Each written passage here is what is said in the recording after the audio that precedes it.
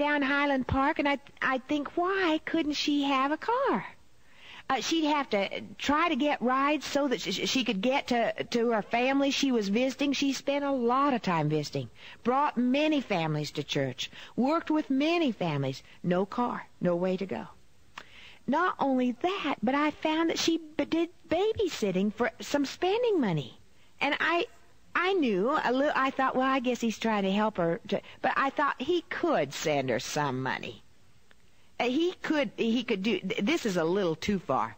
Do you know it wasn't too far at all? Do you know that this that a millionaire has something to fight that that no one else we couldn't understand? You think I'd like to try? I'd like to try. No, I don't know that you'd like to try. How the character of children of money can be hurt. How wise a, moneyed man or woman is who sees to it that her children or his children do not have that money in their formative years. That they they get the privilege of learning to work, of learning to earn, of having the challenge of uh, uh, money is a burden upon people. We have students at Hyles Anderson College, not many. They're also poor. But once in a while, we have students at Hyles Anderson College. Uh, there's some money in the background. It's never been, I've never seen it be a, a really happy situation for them. They're always afraid that, uh, the uh, a girl's always afraid the guy will be scared to date her because he can't uh, uh, court her in, uh, with that kind of money in the way she would be accustomed if she, if they knew it. I mean, there's all kinds of complications. Uh, they're afraid that people, if they knew it, would uh, will take advantage of their money. Uh, they don't know how much they should try to earn. They don't know if they if it's right for them to get a job and take a job away from other people or not. So they don't have the the right to even choose whether they should work or not. It's not really that happy a situation. Uh, oh, that you would learn not to fight and give to, for your children. Train, teach, love. You can't do too much of any of that. Help build character, uh, guide, teach them to work. But to go say, I want one on the right hand and one on the left. that, that just sounds like some some woman that I might hear coming. Up. Or, uh, but she was she wasn't even subtle. Most of you'd be a little more subtle, and you'd say, "Now I'm not asking for any favors for my children." Uh, uh, oh no, that I wouldn't want to do that. You know I wouldn't want to do that. But I just wondered, you know, that's the way you do it. I know I've done it. Uh, this lady prayed an, an ambitious and disappointing prayer. She didn't begin to know where what was going on. She, I, as they say in she was strictly out to lunch, as far as brains were concerned, evidently. Since the master was to soon set up his kingdom, uh, she thought that they might as well settle something right now that had vexed and divided the disciples from the first day they had come together. Who should be greatest? Let's just get it settled. She wanted to get down to business and, you know, just take the take the thing out all uh, so it wouldn't be a decision that had to be made. I guess she was doing everybody a favor to see so we could just get it all checked out here. Jesus tried to teach them proper views of great greatness. Listen to him. Learn of me, for I am meek and lowly in heart. If you desire to be truly great, you must be childlike. True childlikeness is self-forgetfulness. He said, Learn of me, for I am meek and lowly in heart. And we would say, if you desire to be truly great, you probably are to become as a child she was one of his followers, and he was uh, uh, he he knew her well. And so she came up and said, "Will you do something for me?" You know how it is when when you get to be friends with somebody, they feel like, "Well, I can ask some favors." She followed Jesus. She pro- probably uh, had helped him. You know, uh, if you ever have, if you're a Christian worker and and you have those people who help you in the Christian work, then they want favors back because they weren't really doing it for God. They were they were doing it for you, and they expect you to do it back then. I think it's wonderful for you to look out for those who who help you in God's work, and I think you should. But I, but they shouldn't expect it because they're doing it for God. They have their reward, so there there's no there's nothing there are no favors there that should be asked at all. It's just that that those who have people working for them need to look out for their people. I you know you talk out of two sides both sides of your mouth, don't you? I'm saying to those of you who have people who help you, look out for them. Take care of them. I'm saying for those of you who do for someone else in the work of God, Don't think you're going to get anything extra. Don't ever ask for anything extra. You have your reward if you did it for Jesus. She was smart, but she prayed a dumb prayer. Uh, it was unconditional. She wanted her way no matter what, regardless of what anyone thought or what it brought. Evidently, she didn't think about what being closest to Jesus meant. She was spiritually stupid. She equated a position with a blessing. She thought if they got certain position, they would get blessing. We always think the grass is greener on the other side.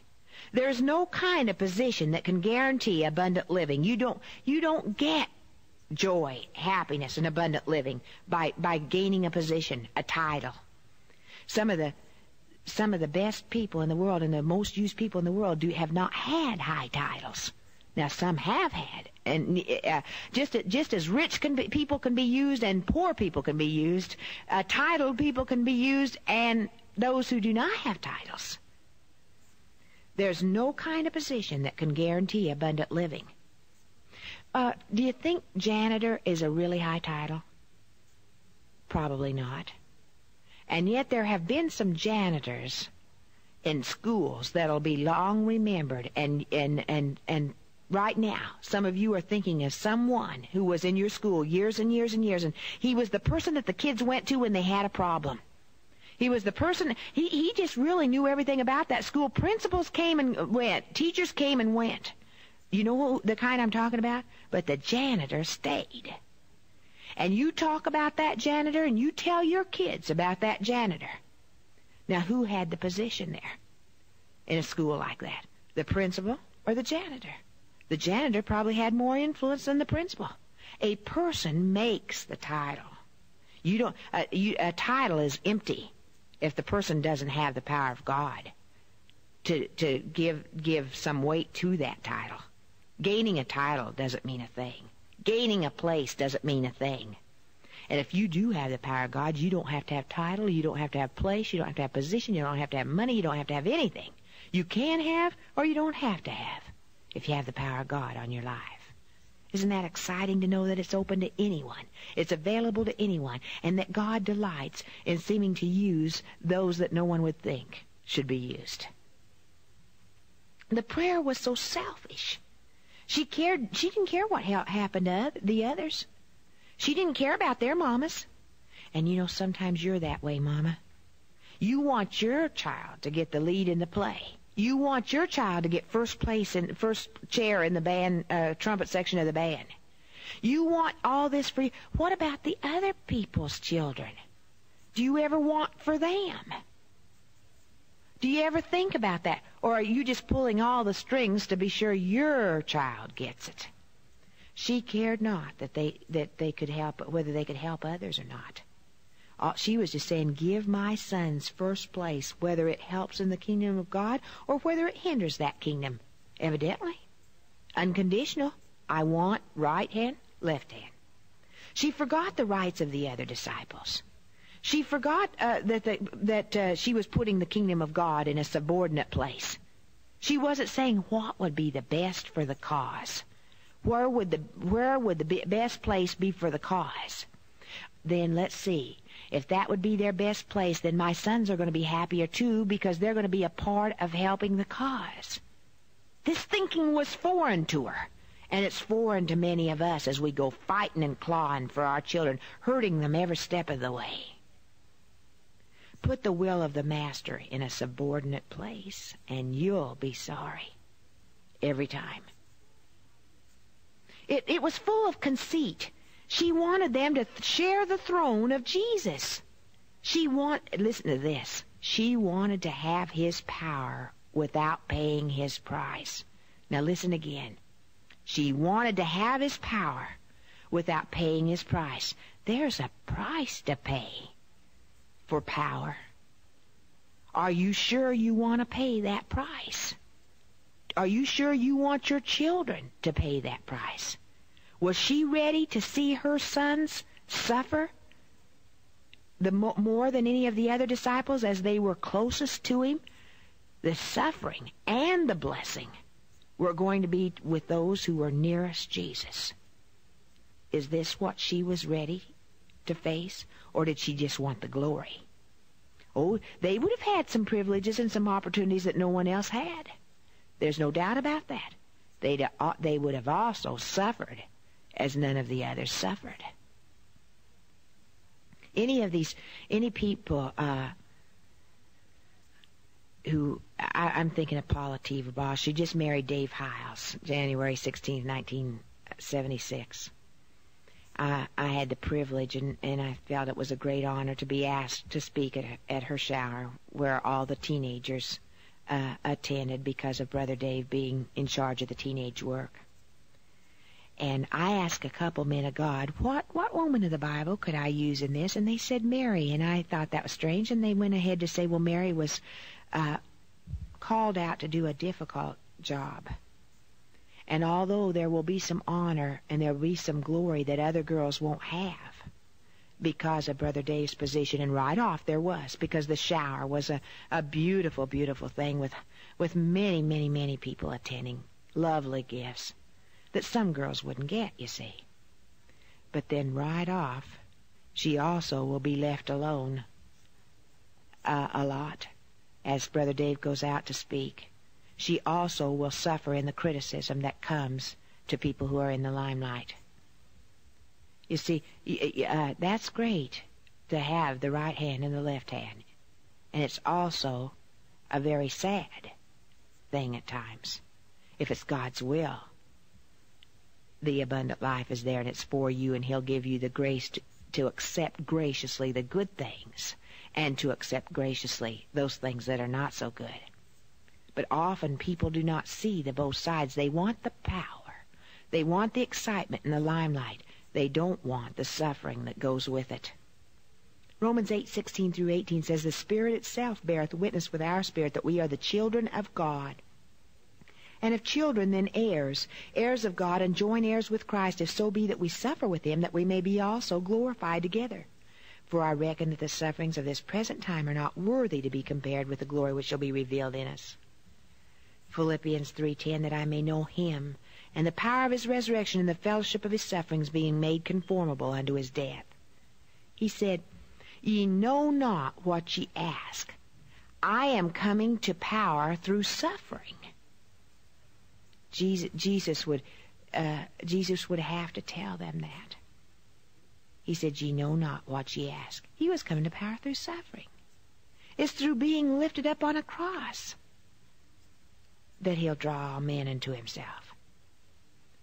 Are you willing to drink of the cup of which I'm able to drink? And they stupidly said, We're able. We're able. W- were they able? Had they counted the cost? Just a few days later, they were asleep while he prayed in the garden. No one's able to be anything or do anything independent of the Lord Jesus. Uh, the prayer assumed that Jesus just handed out favors regardless of the fitness of the receiver. Uh, j- just got a hold, just just said, yeah, yeah, that'll be all right. You know, whoever asks first, that's who gets the right hand and the left hand. That's not Jesus. And that's that's why we can't go at. We don't know if it's best for our child. We don't know what's best. We don't know what's right for the others who are in their peer group when we go try to, to get our way for our children and fight their battles for them. God can only give what we are fit to receive. He gives to all of us the very best that we permit him to give. He wants to give. He wants us to have the very best and that which is the best for us. But he, he'll give it to us if we'll permit him to give it and if we're in the right condition for him to give it. It is right to pray for greatness for ourselves and our loved ones if we realize the path we and they must take. It, it's all right if it's greatness, not to want glory for yourself, but greatness as far as being used to God then pray for that. If you're sure you want your children to go along that path that comes with greatness for God. The Son of Man has not come to be served, but to serve and to give his life as a ransom for many. There is no other road. There is no other way. Whoever wants to be the great man among you must be your servant. And whoever wants to be first among you must be the slave of all. Jesus became the highest because he stooped the lowest. May God help us to walk this way. There are certain needs of people that must be met. Uh, let me name some, and you may want to take them down, or you, and possibly you'll want to think about these again. Listen to them on the tape recorder again. Number one, people need love and affection. Folks have they have to feel their love. Little babies will die for the lack of love. This has been proven over and over and over again by those who work with infants who have, who have been uh, left alone. They can die for the lack of love. People will do most anything or go any place for love and affection. They'll go toward those places where they feel loved. Don't you? Isn't that where you go? If you want to, if you want to go to to get into trouble, if you want to go to where where you're spurned and rejected, uh, there's probably something wrong with you. We want to go where we're loved and accepted, and where we have affection. Then you want to be great. You want your children to be great. You teach them to love. You teach them to show affection for those around them, and they'll, that's the greatness that God can give them. That they love. Number two, people have to have a sense of worth. They have to know they're worthwhile. A lot of times, your children won't develop uh, this sense of worth because uh, uh, you you get grab everything for them so fast they don't have to be worthwhile. They don't have to learn to to work. They don't have to learn to handle human relations problems themselves. That you'll jump in and do it for them, and they end up growing up without a sense of worth. They have to have you. They're crippled. They're emotionally crippled. I think there are people who are crippled, cannot work, and they they have healthy bodies and they have they can walk, but they're as crippled as a person who has a has crippled legs and is paralyzed. They're emotionally crippled, have never been, don't know a thing about how to work, how to how to handle their own lives, how to handle human relations, because someone's always done it for them. Sometimes it's because no one has taught them. No one did it for them, nor, but there was no one there for an example either. But for some reason or other, they, they, they have no sense of worth. Teach your children to have a sense of worth. They'll be great. Great like God would want them to be great. Great in a way that you don't have to go say, could they sit on the right hand and the left? They'll be placed by God where He wants them. And sometimes it might be the right hand and the left. People need self-confidence.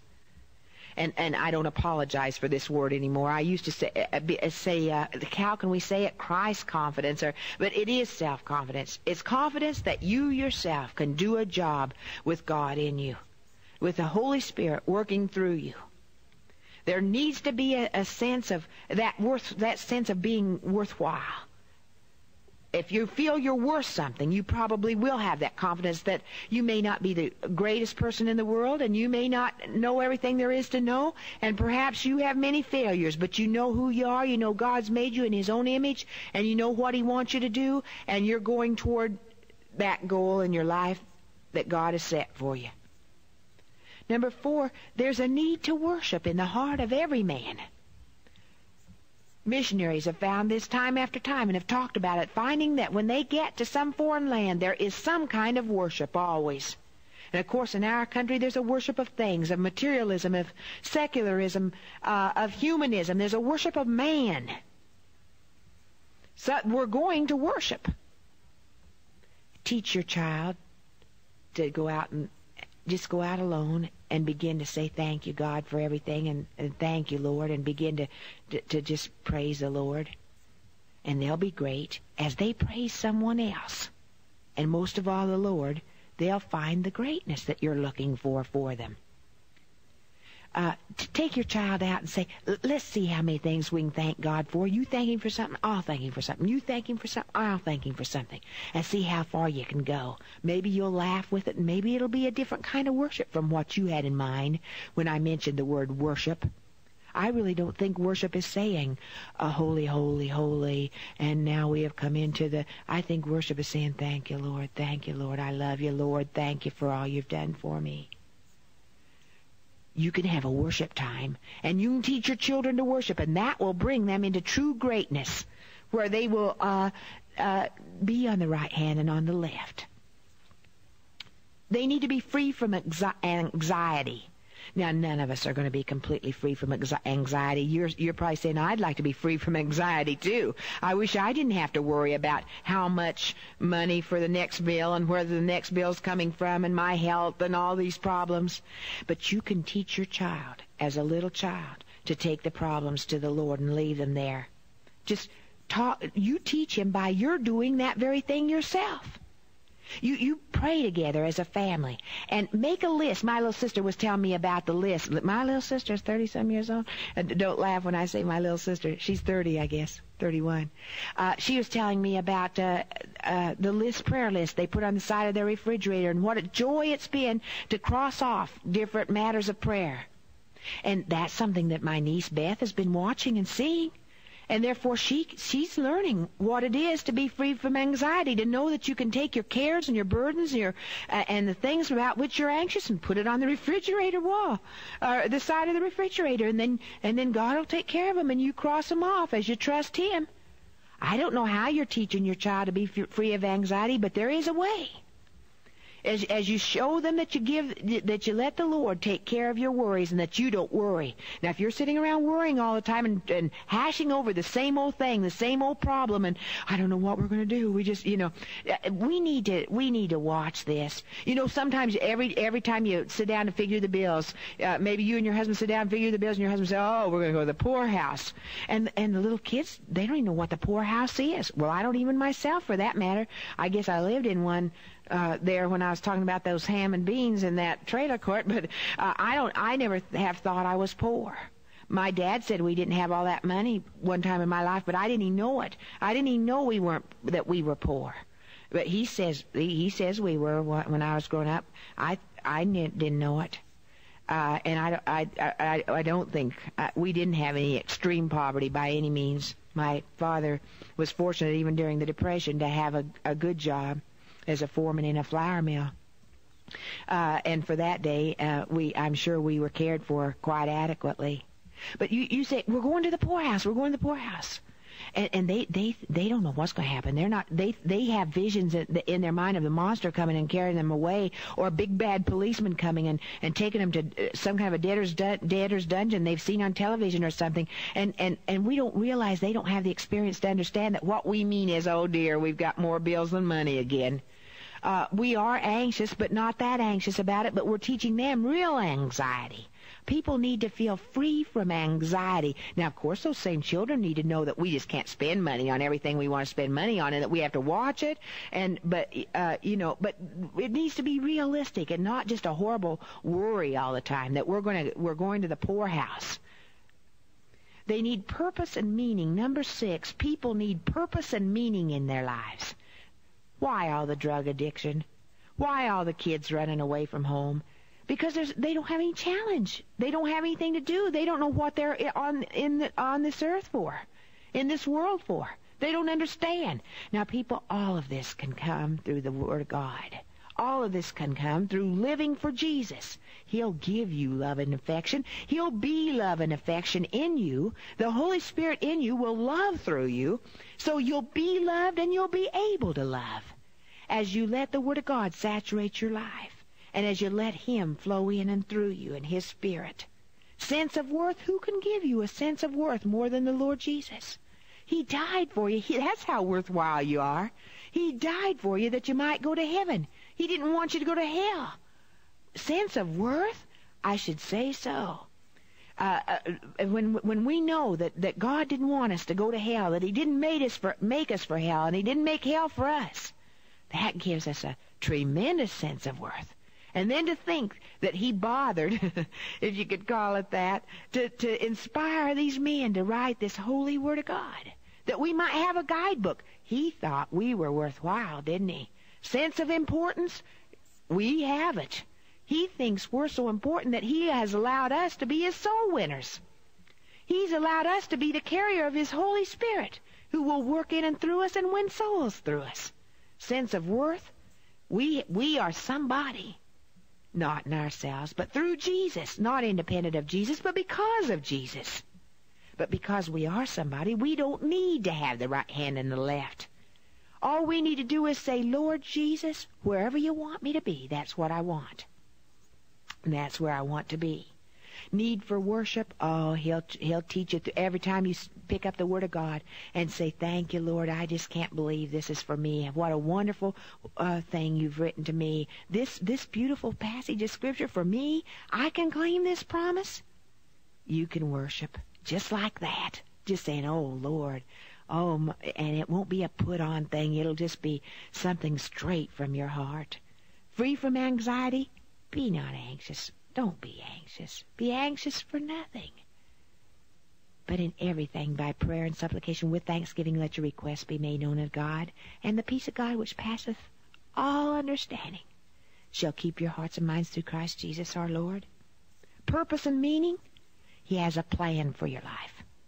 Are you on the road? Are, are, are you helping your children find the, His plan for their life? That's the way you can help them. You don't have to promote them. You don't have to be their uh, uh, promotion PR man, public relations man. You don't have to be the the go-between. You don't have to come in and fight their battles for them.